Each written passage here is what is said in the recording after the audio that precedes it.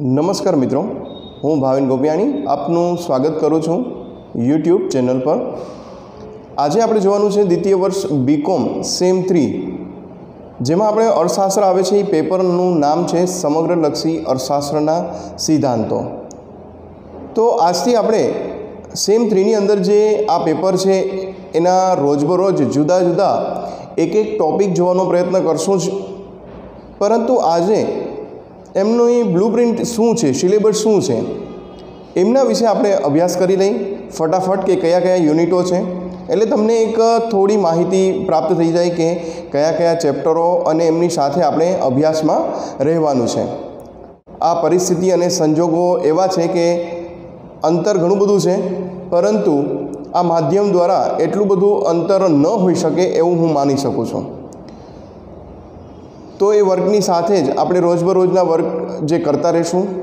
આગળ જેમ જેમ આપણા ચેપ્ટર જશે, તેમ તેમ આપણે એમના વિશે કંઈક ચર્ચા વિચારણા પણ આગળના સમયમાં કરશું. તો આજે સૌપ્રથમ એમનો સમગ્ર જે સિલેબસ છે, તેનો જ અભ્યાસ કરીએ કે સૌપ્રથમ યુનિટ એક છે નાણું.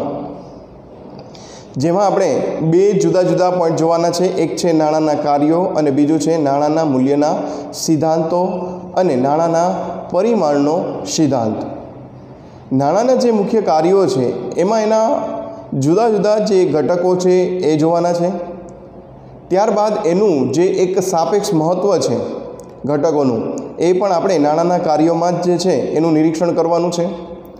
બે પોઈન્ટ એકમાં આપણે જે નાણાંના મૂલ્યના સિદ્ધાંતની વાત કરી રહ્યા એમાં એમની વ્યાખ્યા, એમનું સ્પષ્ટીકરણ, સિદ્ધાંતની ધારણા અને શરતો નાણાં નાણાં પરિમાણનો જે સિદ્ધાંત છે એની લાક્ષણિકતાઓ, સમીકરણની મદદથી નાણાં પરિમાણના સિદ્ધાંતનું સ્પષ્ટીકરણ છે એ પણ જોશું આપણે. એમાં બે સ્પષ્ટીકરણ કરશું, એક ફિશરનું સમીકરણ અને બીજું છે કેમ્બ્રિજ રોકર પૂર્ણાંકનું સમીકરણ. તો આ બે સમીકરણ છે એ યુનિટ એકમાં જ આપણે જોશું. ત્યારબાદ છે યુનિટ બે, ભારતમાં બેન્કિંગ પદ્ધતિ.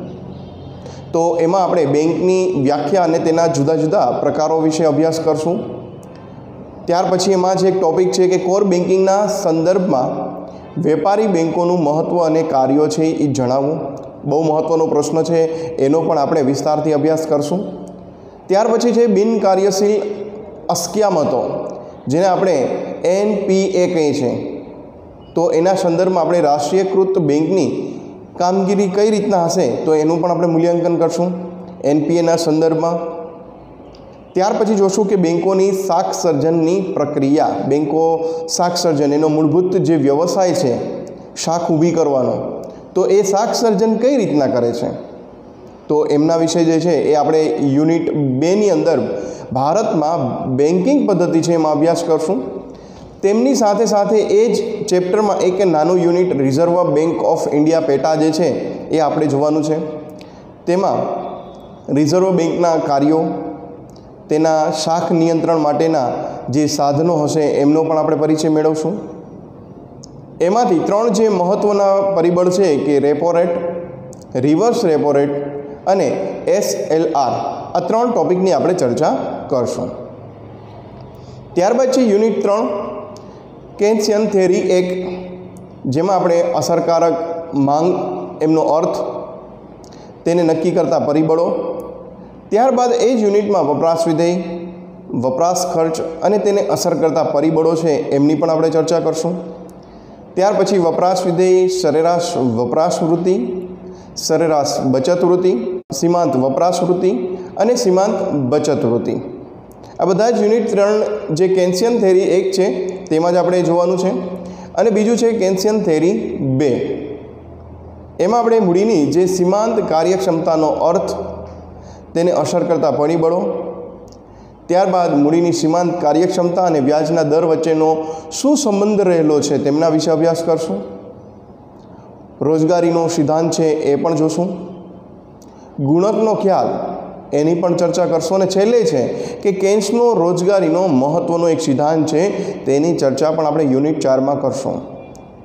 તો આ રીતના આપણું જે બીકોમ સેમ થ્રીની અંદર અર્થશાસ્ત્રનું જે પેપર હતું આ સમગ્રલક્ષી અર્થશાસ્ત્રને અનુસંધાનમાં, તેમાં આ જુદા જુદા ચાર યુનિટ છે. તેની આપણે હવે રોજબરોજ વિસ્તારથી આગળ વાત કરશું જ. તો આજે તમે ખાસ આ નોટ કરજો કે આપણે કયા કયા જે છે એ યુનિટ ભણવાના છે.